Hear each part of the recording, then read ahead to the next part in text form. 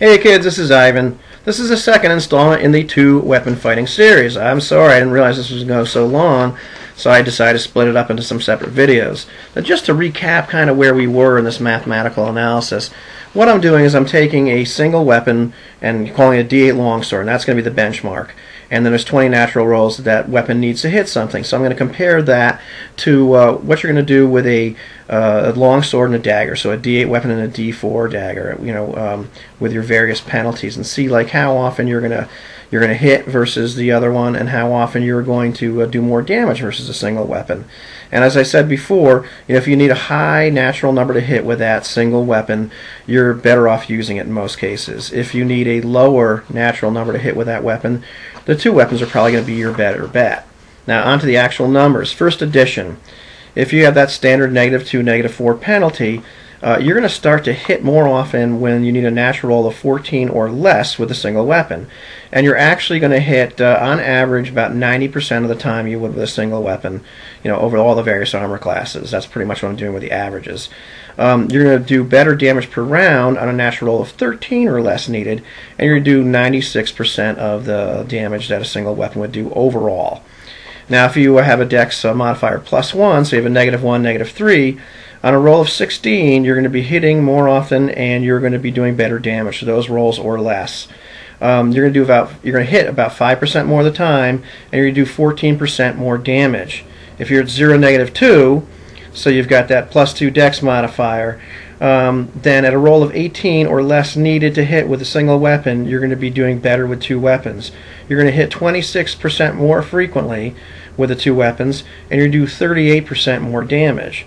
And finally, uh, with a 0, negative 1, so you've got that 18 with a plus 3 modifier, uh, at a roll of 19 or less needed with that single weapon, you're going to be doing better with two weapons. And you're going to hit 34% more of the time on average, and you're going to do 45% more da damage on average. Not too overpowered.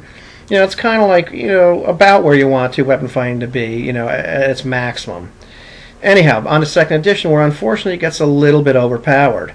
Now, if you're ambidextrous, your penalties are negative 2, negative 2. So you're using your sword and your dagger. Uh, at a roll of 16 needed or less, you're going to be hitting more often with two weapons. At a roll of 15 or less, you're going to be doing more damage with two weapons you're going to be only only hitting uh, two percent more of the time on average with a, uh, that negative two negative two penalty, and you're only be doing about uh, seven percent more damage on average. You know the numbers vary, but you know when you you know average out all those various natural rolls needed, that's what it comes out to. With a negative one negative one penalty, so you're ambidextrous and you've got a dexterity that gives you a plus one modifier. At a roll of 18, you're going to be or less, you're going to be hitting more often. You're going to be doing more damage you're going to be hitting about 20% more of the time, and you're going to be doing 27% more uh, damage with that. And at 0, 0, which means you're ambidextrous and specialized, or either one of those, and uh, have a dexterity which gives you a plus 2 modifier, obviously on a roll of 20, you're already hitting more often and you're doing more average damage. You're going to be hitting 47% more often, and you're going to do 55% more damage. Now, you get into the D8 D8 weapons. So you know you're specialized and you can use the two long swords. At a zero negative two, you are on a roll of 18. You're going to be or less. You're going to be hitting more often and be doing more damage more often. You're going to hit 26% uh, more often, and you're going to do 69% more damage on average. If it's zero negative one, so you're specialized or ambidextrous, and you've got uh, you know the plus one dexterity then your rolls are going to be 19 uh, or less. You're going to be doing better on the two hit or damage of frequency.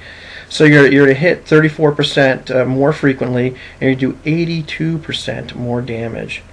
And if it's a 0 0 with those two D8 weapons, now obviously at a roll of 20, once again, you're going to be hitting more frequently and doing more damage more frequently. You're going to be hitting 47% more often and you're going to be doing twice the damage. So it's a little bit overpowered. Now on to something that's not so overpowered, Pathfinder. With that negative 6, negative 10 penalty, we're using two normal size weapons, you are never, ever going to hit more frequently.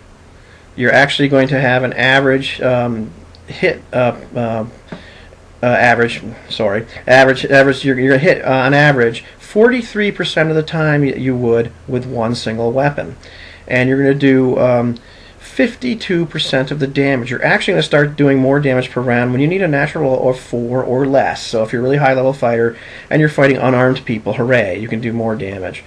Um, at that negative 4, negative 8 penalty, where you've got an offhand weapon, you are never, ever going to hit uh, better than uh, the sing- guy with a single weapon.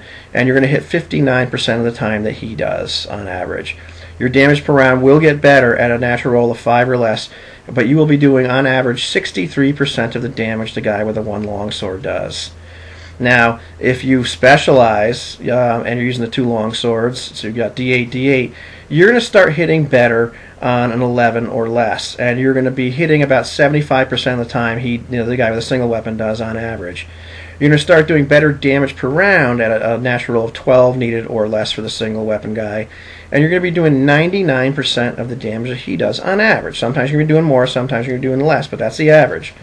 Now, at negative 2, negative 2, where you're specialized and you're using that light offhand weapon, you're going to start hitting more frequently on a roll of 16 or less that the, the guy with a single sword needs.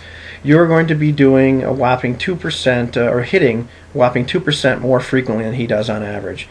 Um, you're as far as damage per round, you're start doing better than he is on a natural roll of 15 that he needs or less.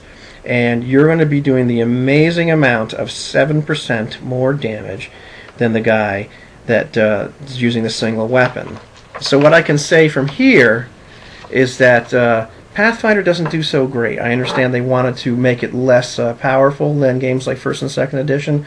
I think they went way over the top. There's almost no reason to use two weapon fighting, even if you're specialized in a game like Pathfinder. I'm sorry, they just they lose in this thing, evaluation. Second edition is way too overpower powerful. That specialization they give you in the ambidexterity, ambidexterity is not a bad idea, but I'd rather have you roll for it or something like that, and maybe you get that one percent of the population or whatever. But just all those numbers are just way too powerful. The modifiers don't offset the bigger weapons. It's just kind of a loser. First edition isn't so bad by itself. Some people, you know, tend to get a little upset that it gets a little overpowered when you have the high dexterity, but it's not real, real bad. Now, in terms of some uh, other ideas that people have talked about on the web, I'm just going to kind of list a few of those and then stop this video and then talk about the system that I've been coming up with and uh, just give you some numbers on that. Uh, some people have had the idea of limiting the penalty modifiers to final values of negative 2, negative 2, or 0, negative 2 if some kind of specialization is used. So that's it. You won't, can't get any lower than that. Um, those specialized in two-weapon fighting get no penalty to the attack roll of the primary weapon, but have a negative 2 to the attack roll of the secondary weapon if it's small, a negative 4 if it's a medium, and a negative 6 to the secondary if it's a large weapon, like a D8. Uh, and at no time can the modifier to the attack roll of the secondary weapon be less than negative 2. That's kind of interesting. Still could be a little overpowered. Um, increasing the penalties to two D8 weapons, no style specialization, to negative 4, negative 6. Kind of an interesting idea uh, you know, letting you at least use those two weapons, even if you're not specialized. The idea that each weapon does half damage. Interesting idea. I did ran the numbers on it. It's just not worth it to use two weapons if you do it that way. How about each weapon takes a negative to the amount of damage it inflicts, or does a smaller die in damage? Kind of interesting. It gets complex with the numbers, but it's an interesting idea. Now, the other one has no second attack, but you get a bonus to the AC or a bonus to the attack roll, player's choice, kind of like how they do it um, in uh, in second edition with a specialization. Not you know okay idea, but not such a not such a like you know a novel one. Um, a miss with a primary weapon allows you a chance to hit with a secondary. If you hit with a primary, the secondary gets no attack. That's not such a bad idea. Um, two weapon fighting just gives an increase in damage to a single attack roll, so it's not rolled as two attacks. This is either plus 1 or plus 2 damage to the primary weapon, or you move the damage die of the primary weapon up 1. So a d8 longsword would become a d10 longsword. So it's still just one attack roll, but you, you, your damage gets, uh, gets better. So that's an interesting idea. Uh, increasing to the base penalties of negative 3, negative 6, like in Castles and Crusades. Also not a bad idea.